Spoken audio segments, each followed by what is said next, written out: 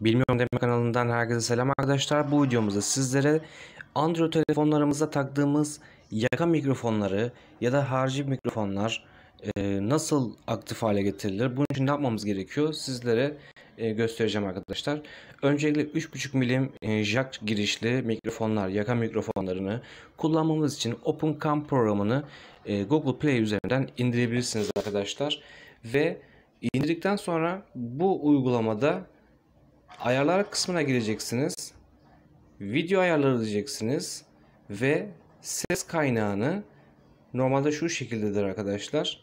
Siz harici mikrofon varsa tıklayacaksınız ve geri diyerek çıkacaksınız arkadaşlar ve kaydınızı oluşturacaksınız. Bu kayıt esnasında e, yeni yaka mikrofonunuzdan sesi alacaksınız. Başka bir program daha var FV5 olarak ama burada ön kamera kullanılmadığı için o programda OpenCam programını sizlere öneriyorum arkadaşlar. OpenCam programında istediğiniz e, harici mikrofonlarınızı telefonunuzda rahatlıkla kullanabilirsiniz. Videom sizlere faydalı olduysa eğer e, tabii ki de videomuzu beğenmeyi unutmayın. Gerekirse abone bile olabilirsiniz. Kendinize iyi bakın. Hoşçakalın.